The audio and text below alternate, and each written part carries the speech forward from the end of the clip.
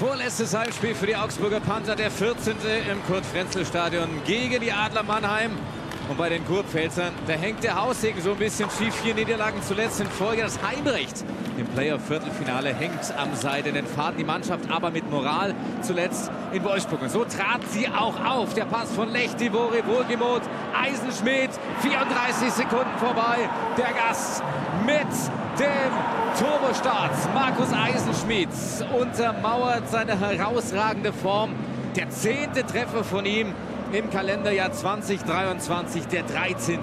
in dieser Saison, lässt Markus Keller keine Chance. Danach aber erstmal Augsburg am Drücker, zeigt sich wenig beeindruckt, wenig geschockt und immer wieder geradlinig im Spiel nach vorne. Hier über Saponeri, 2 auf 1. Stila findet den Weg für Barinka.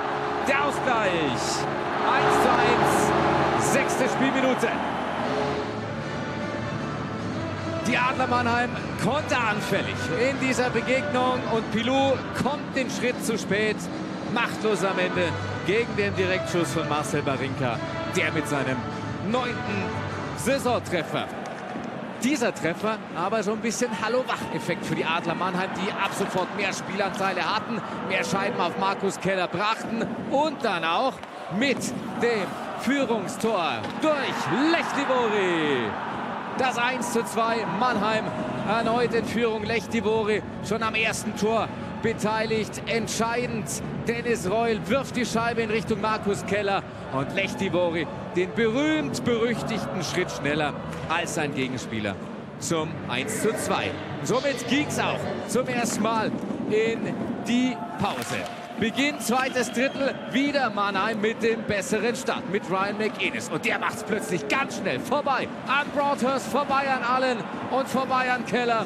Das 1 zu 3, zwei Tore Führung für die Adler Mannheim. Ryan McInnes im ersten Spiel in Augsburg hat er sich schwer verletzt, war er nach 40 Tagen raus. Heute mit seinem achten Saisontreffer. Aber wer glaubte, dieser Treffer würde den Adlern Sicherheit geben? Weit gefehlt. Augsburg fightete zurück mit Terry Broadhurst. Anschlusstor. So ein bisschen aus dem heiteren Himmel, aber wir sehen das hier gleich. Kadic legt ihn dem aufs Tape. Broadhurst gedankenschnell aus der Drehung. Der Tunnel, das Five-Hole gegen Arno Tiefensee. Das 2 zu 3. Dann 4 gegen 4. Die Adler mit Plachter plötzlich ausgestochen. Da kommt Wasowski. Riesentempo. Allein gegen Tiefensee. Der Ausgleich. Was ein Tor von David Borsowski. Sein siebter die letzten Wochen. Überragend der Augsburger Verteidiger. Vorhand, Rückhand, Vorhand, Rückhand. Durch die Beine. Das 3 zu 3. Und mit diesem Remis ging es dann auch in die zweite Pause. Die Adler wieder mal in Führung liegend. Eine Führung verschenkt. Und es kam noch schlimmer. Denn Augsburg mit dem 4 zu 3. Mirko Sacher von der blauen Linie. Leblanc gewinnt das Bulli und parkt dann perfekt ein, fälscht ab gegen die Laufrichtung von Arno Tiefensee.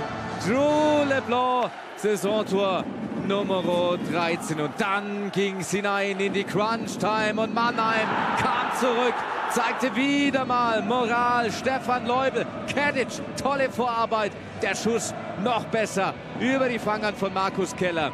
Das 4 zu 4.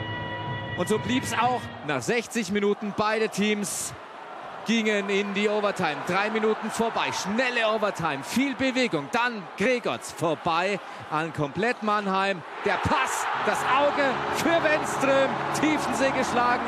Augsburg mit dem 5 zu 4, weil Mannheim das nicht gut verteidigt und Wenström eiskalt abschließt zum Siegtor für Augsburg. Die Stimmen zu dieser Partie. Wir müssen endlich mal lernen, weiterzuspielen. Wir hören jedes Mal, wenn wir in Führung gehen oder ein Tor machen, hören wir auf zu spielen. Der Gegner kommt zurück, wir schießen wieder ein Tor, hören wieder auf zu spielen. Wir müssen endlich mal aufwachen. Es kann nicht sein, dass wir immer so einen Scheiß dann zusammenspielen. Yeah, uh, we don't give up.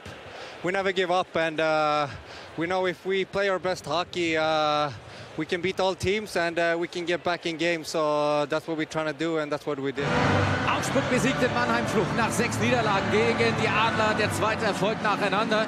Und für die wird es langsam eng. Fünfte Niederlage in Serie für die Kurpfälzer. Alle Spiele live, nur beim Magenta Sport.